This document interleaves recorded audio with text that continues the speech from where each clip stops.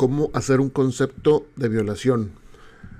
En este video la idea es enseñarte el orden, la estructura para que puedas hacer un concepto de violación de forma sencilla, sin complicarte mucho la existencia, sin tener dudas de cómo pudieras irlo desarrollando.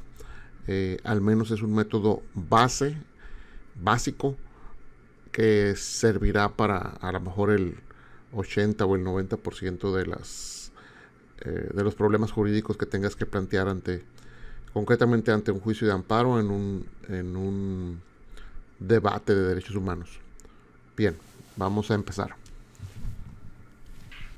Lo primero, voy a manejar dos cuestiones que si bien es cierto no es obligatorio utilizarlo, sí sirven mucho para mm, llevar un orden, llevar una estructura. Miren, mucha, mucho del problema de hacer un concepto de violación es organizar las ideas, estructurarlas y de ahí escribirlas. Si todos tuviéramos bien claro qué escribir, en qué parte o en qué orden, no batallaríamos para elaborar conceptos de violación. Entonces, este video pretende hacer eso. y te diciendo, primero tienes que poner esto, luego esto, luego esto, luego esto. Porque todo el mundo dice, no, pues la estructura del concepto de violación tiene que ser en forma de silogismo, los que se quedaron con la versión anterior, o tienes que nomás fundar la causa de pedir. Sí, pero ¿qué es eso? ¿Qué es una cosa y qué es la otra? Va, aquí trato de explicarlo. Conceptos de violación, requisitos lógicos y jurídicos que deben reunir. Esta tesis ya no está vigente, no por la fecha, ya no está vigente, sino porque fue superada por esta otra que está acá abajo. Sin embargo, sin embargo, quiero explicarla porque aunque no es obligación utilizarla, es muy útil, es muy útil. De esta tesis vamos a rescatar tres situaciones. El, eh, el método del silogismo, pero lo que es la premisa mayor, la premisa menor y la conclusión, que es un método de la lógica para estructurar eh, ideas, para estructurar argumentos, para estructurar cosas que uno va a utilizar. Bueno, miren, esta tesis eh, menciona que es la premisa mayor, dice que son los preceptos constitucionales que se estiman infringidos. Ojo, terminología del 95 no menciona el tema de los tratados internacionales o los derechos humanos de, tratados internacionales. La premisa menor, los actos reclamados. Y la conclusión y la contrariedad entre ambas premisas. Ahorita voy a explicar qué es cada uno de esos. Sepan que existe esta tesis porque la vamos a utilizar más adelante, aunque insisto, no es obligatoria.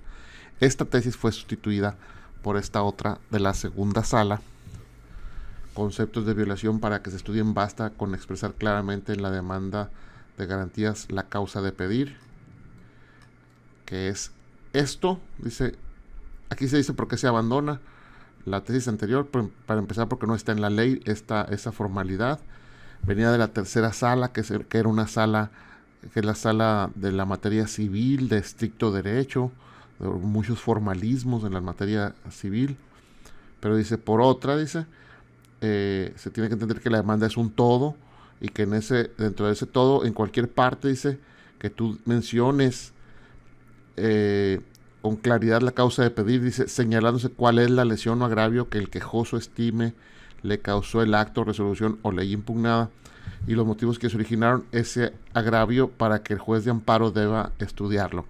Sin embargo, ojo, ojo con esto, aquí viene la primera crítica.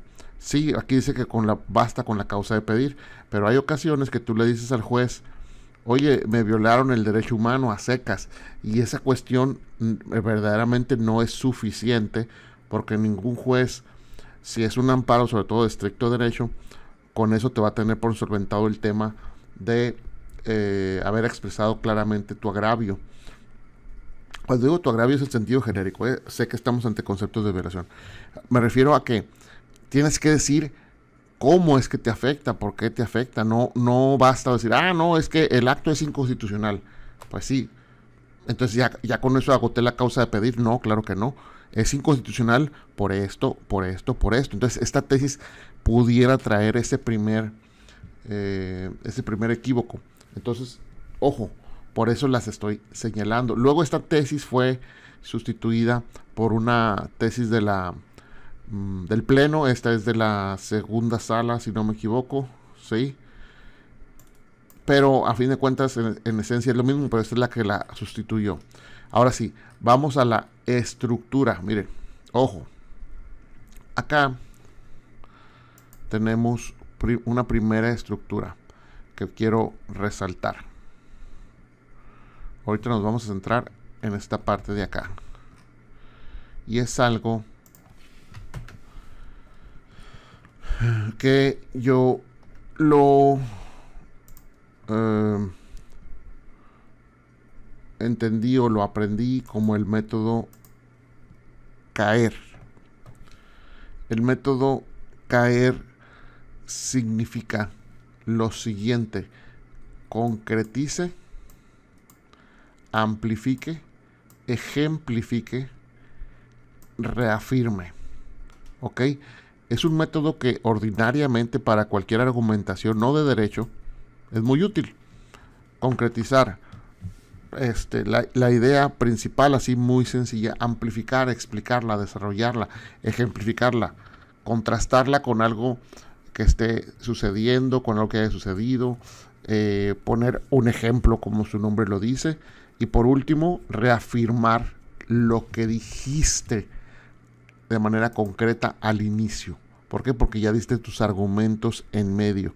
Si se fijan, es un método muy sencillo, muy sencillo, que yo creo que si lo aplicáramos así tal cual en un concepto de violación, debiera bastar. Pero ojo, miren, aquí volvemos, aquí pasamos a otro punto.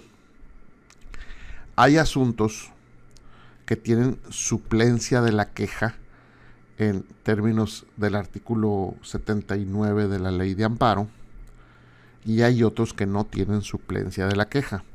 Si tu demanda está cubierta por el tema de la suplencia de la queja, en esencia, ni siquiera conceptos de violación necesitarías.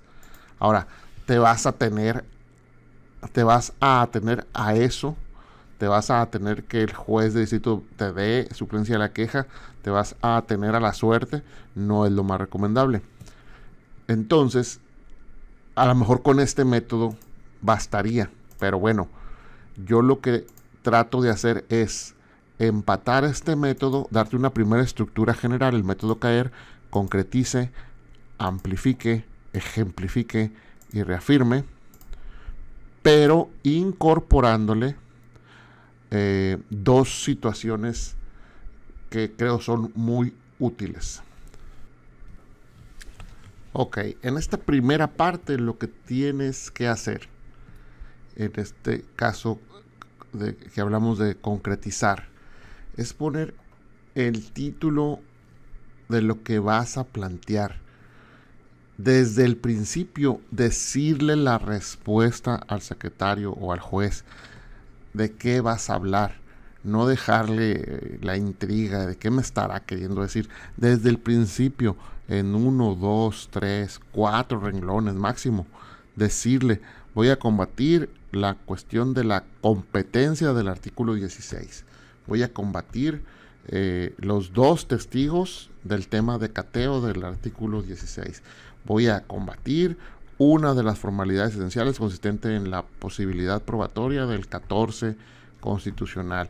Voy a combatir la cuestión de la proporcionalidad del 31 fracción cuarta desde el inicio. Dile de qué se va a tratar tu concepto de violación, que no tenga que irlo desentrañando a lo largo del eh, proceso de lectura. Desde el inicio que él sepa qué es lo que va a recibir en los párrafos siguientes. Trata de hacerlo concreto y claro con tus palabras. Los abogados somos humanos y tenemos lenguaje igual que cualquier otra persona. Entonces, como tú lo sepas expresar, pero sé claro, redáctalo una primera vez, avánzale, regresa más tarde a ese eh, título y si lo lees y no te queda claro a ti, no le está quedando claro, a nadie más, que, sea claro para cualquiera que lo lea, incluso alguien que no fuera abogado. ¿no? Entonces, que sea de fácil entendimiento. Ese título es muy importante. Eso sería concretizar. Eso sería la letra C de nuestro tema. Bueno, luego pasamos al a amplificar. Y aquí es donde, en estas dos letras es donde viene nuestra mayor chamba, en la A y en la E. Amplificar y ejemplificar. Miren, ahí va. Dentro de esta letra A vamos a poner o vamos a hacer el ejercicio de premisa mayor, premisa menor y la conclusión de esta tesis de acá. ¿Sí? Ojo, insisto, para que lo... Ah, están metiendo temas que ya ni siquiera vigentes están. Sí, ya no están vigentes. Bastaría la causa de pedir. Pero es un método de estructura de la lógica que nos va a servir muchísimo. Y si lo aplicamos con la idea de que es un método de la lógica para ordenar nuestros pensamientos, nuestras ideas, créanme que el resultado va a ser más sencillo de obtener y vamos a tener un concepto de violación mejor estructurado. Miren, en la premisa mayor, tal como, como lo decía ya en la tesis, ¿qué es lo primero que va a ir? Las normas, diría yo. ¿Y por qué digo normas? Porque dentro de las normas comprendemos tanto a la Constitución como a los tratados. Ahorita menciono el tema de las leyes. ¿Qué tipo de normas se tramitan o se discuten, más bien, eh, sobre su aplicación en el amparo, los derechos humanos? Recordemos que el juicio de amparo va encaminado, pues, a ver si se aplicaron o no correctamente, se están respetando o violentando los derechos humanos.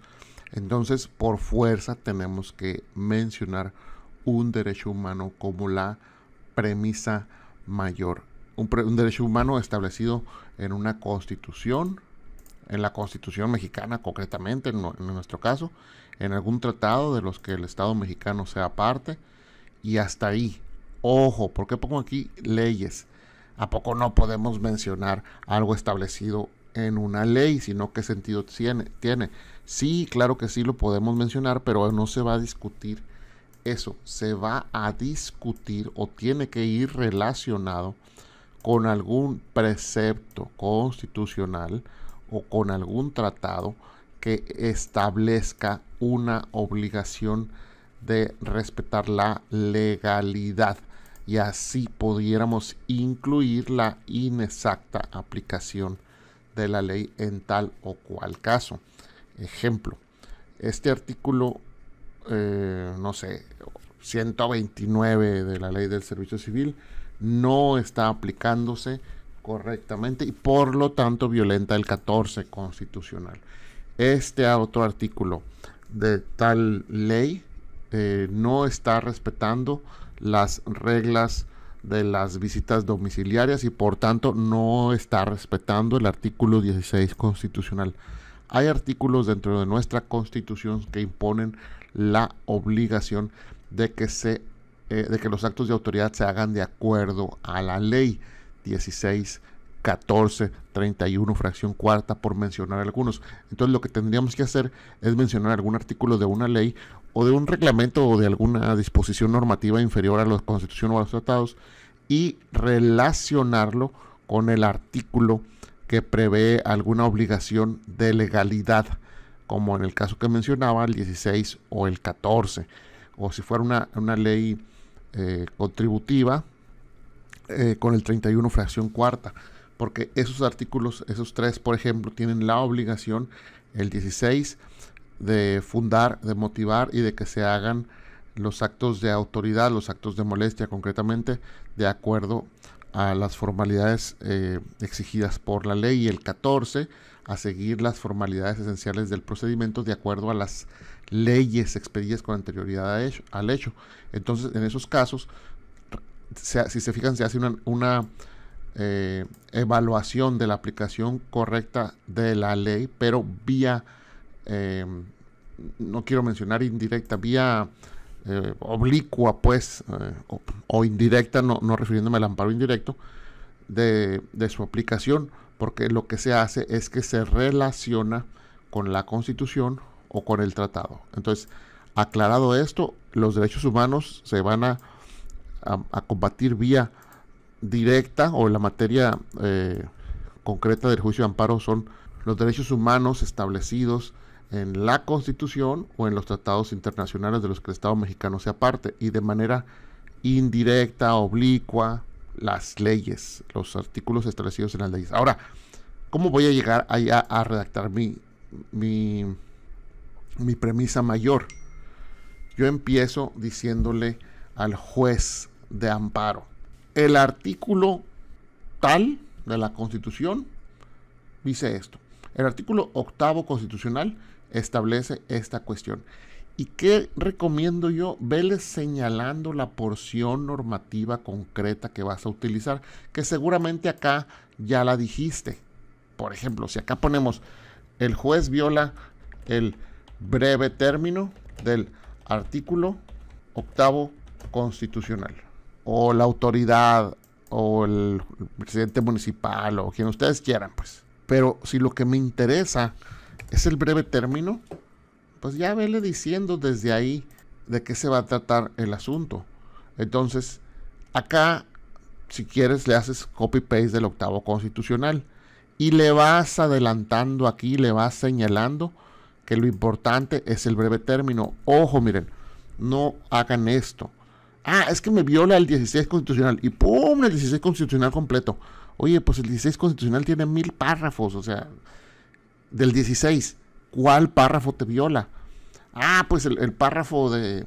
el párrafo primero. Bueno, pero el párrafo primero a su vez tiene diversas obligaciones. Concrétale cuál es la que vas a combatir en este concepto de violación. Ojo, puede ser que de un artículo necesites combatir varias cosas. Hazlo en conceptos de violación separados. Es, es preferible tener conceptos de violación claros, concretos, eh, bien estructurados y no en un concepto de violación, meterle todo ahí, revolverle. No, no, creo que eso no es lo, lo óptimo. Sobre todo cuando vas iniciando en el tema de eh, expresar tus conceptos de violación. Bien, entonces aquí de entrada le dices el artículo tal este, de la Constitución, el artículo tal del tratado fulano, el artículo tal del Pacto de San José. Y vele indicando cuál es la porción normativa, la partecita de la ley que vas a combatir o la que estás pidiendo que se aplique más bien concretamente. Aquí es, recordemos, se trata de normas. Aquí le vas a poner una norma. El artículo tal establece esta situación. Todavía no te metas a explicarlo, esto va a ser acá en la conclusión y en la ejemplificación. Bien, ¿qué hizo la autoridad? Paso 2, premisa menor. La autoridad hizo esta cosa o no hizo esta cosa o emitió esta norma. Acuérdense que en el amparo se pueden combatir normas, actos u omisiones. En el amparo directo únicamente sentencias definitivas o laudos o resoluciones que ponen fin a juicio. Bueno, salvo esa cuestión de, diferenciar amparo directo e indirecto, acuérdense qué es lo que puede combatirse. Entonces aquí le vas a decir, la autoridad en el auto de fecha fulana de tal, que ya lo tienes en tu acto reclamado bien identificado, aplicó este párrafo o me, aplicó esta, eh, estos dos párrafos dentro de los cuales está diciendo esto y esto y esto y esto, o me está afectando de esta manera. Fíjense, puedes transcribir concretamente qué es lo que vas a combatir o puedes eh, resumirlo. Es decir, ¿sabes qué? De tal párrafo, tal párrafo, el, juez me aplicó en esencia esta cuestión, pero siendo muy específico, del auto tal, de fecha tal, para que no haya lugar a duda de qué te estás doliendo, de qué te estás quejando, ¿sí? Esencialmente ahí terminaría la premisa menor. Ahora tienes que decir en la conclusión cómo es que eso que hizo la autoridad, mírense aquí, cómo esto que hizo, perdón, cómo esto que hizo la autoridad va en contra de este artículo concretamente. Bueno, la autoridad al emitir el acto reclamado fulano de tal, o al emitir esa eh, sentencia o al emitir esa ley, no está respetando este artículo, concretamente esa o esta parte del artículo, por esto, por esto, por esto y por esto. Y en ese por esto, por esto y por esto otro.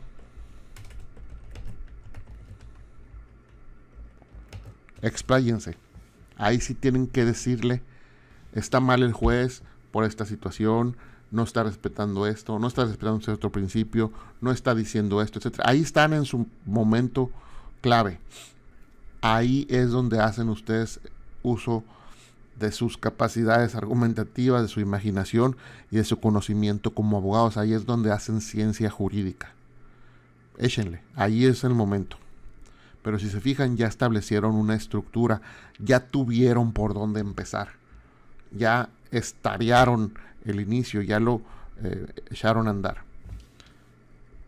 Una vez que ustedes ya terminan su argumento, ejemplifiquen, que no sea solamente su opinión, que no sea solamente lo que ustedes creen, que no sea solamente la palabra de Víctor Acosta ahí, que se le ocurre una que otra locura y que habla puras eh, cosas que no tienen sustento. No, aderecenlo, complementenlo, ejemplifíquenlo, reafírmenlo, aunque reafirmar esa la palabra es la menos indicada.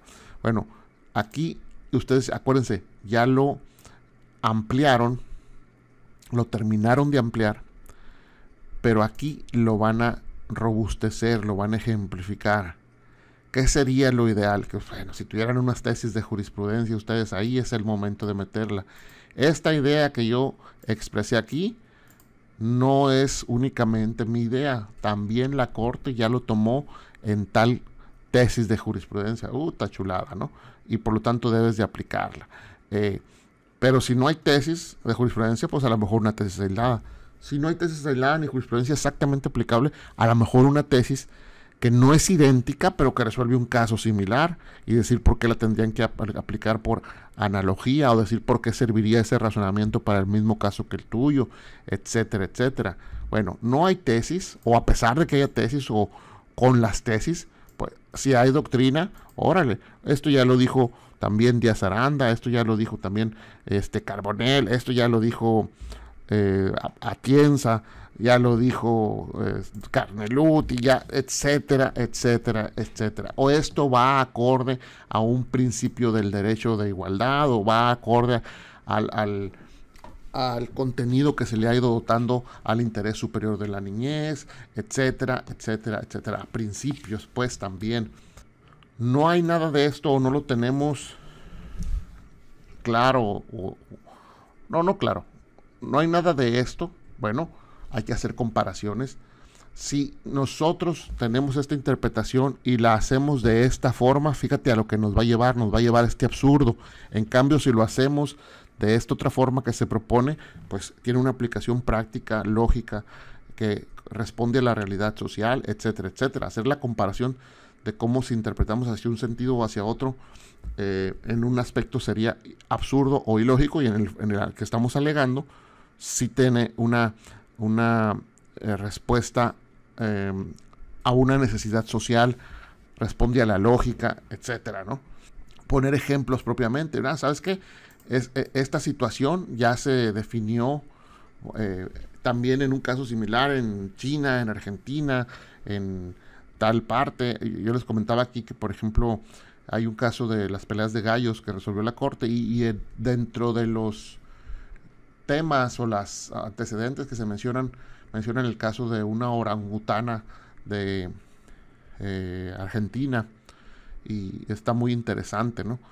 Entonces, ir buscando cómo robustecer tu argumento. Entonces, eh, fíjense cómo ya tomó estructura. Una cosa bien concreta acá. Luego, las normas, pero muy concreta la norma que, estás, que está diciendo que te están aplicando o inaplicando concreta, concretamente, eh, este, que te están aplicando o inaplicando incorrectamente, pero aquí nomás mencionas la norma, menciona después qué está haciendo la autoridad, qué hizo la autoridad, y luego dices por qué lo que hizo la autoridad contraviene ese artículo aquí. Y acá lo robusteces y ya prácticamente terminaste. Al final, nomás mencionas de nueva cuenta lo que mencionaste acá en la concretización, en el título. Y le agregas un por todo lo expuesto. O le puedes agregar por lo tanto. O le puedes eh, poner como tú quieras. Voy a mencionar así. Yo en este caso lo voy a decir. Por todo lo expuesto es que se establece o se dice o se reitera